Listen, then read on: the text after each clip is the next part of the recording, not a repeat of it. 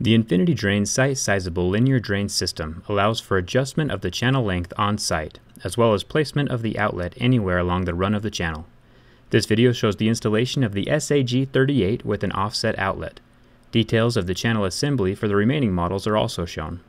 The components shown here are the contents of the SAG38 complete kit. Determine the location of the drain outlet and cut a hole in the subfloor. Typically, linear drains should span from wall to wall. Create a pre-slope layer for the shower pan.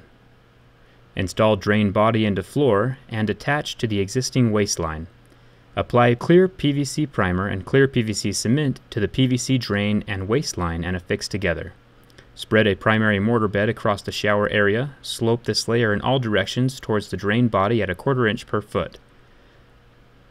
After the mortar layer is dry, apply adhesive and spread waterproofing membrane as per manufacturer's instructions and local code. Reattach the top clamp down plate to the drain body over the waterproofing membrane using bolts. Install the backerboard layer on all shower walls. Standard installation will result in a strip of material between the finish wall and linear drain. For flush against the wall installation, a double layer of backerboard should be used.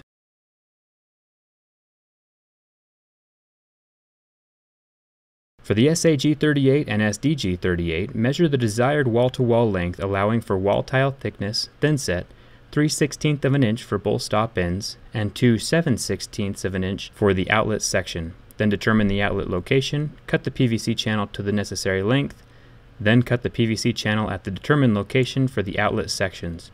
Again accounting for wall tile thickness, thin set, and about 1 16th of an inch for one stop end. Apply clear PVC primer and clear PVC cement to the PVC channel, stop ends, and outlet section and affix together. Dry fit all components to ensure the compatibility with drain location before applying PVC cement.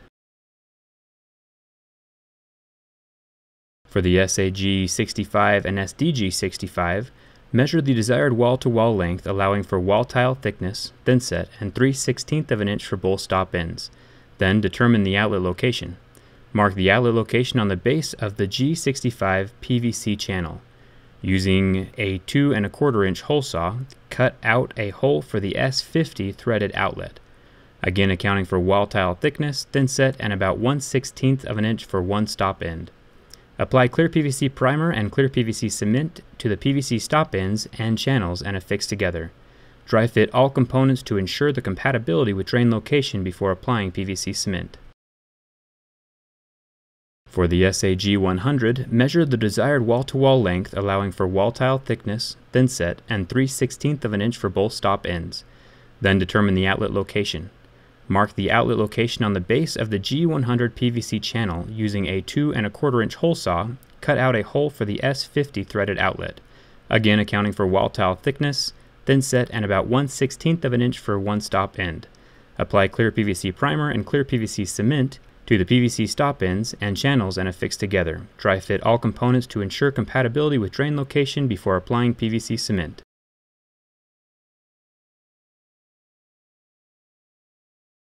Spread a thin layer of mortar along the dimensions where the assembled channel is to be set. Affix the assembled channel to the top of the S50 threaded nipple using clear PVC primer and clear PVC cement. Ensure the channel is completely level by affixing it to the outlet and pressing into the mortar. Using the desired floor material, mark the thickness of the material along the channel so that the material will finish 1 16th inch above the channel, and account for the thin set below. Measure the inside length and width dimensions of the channel, cut a piece of lumber to these measurements, then insert the lumber into the channel to prevent channel flexing during the remaining installation of mortar and finishing material. Spread a final mortar bed across the shower area, up to the height marked on the channel, this mortar bed should be sloped in one direction toward the linear drain. After the mortar bed is dry, lay thinset and tile to the edge of the PVC channel. Do not allow the tile to finish on top of the PVC channel.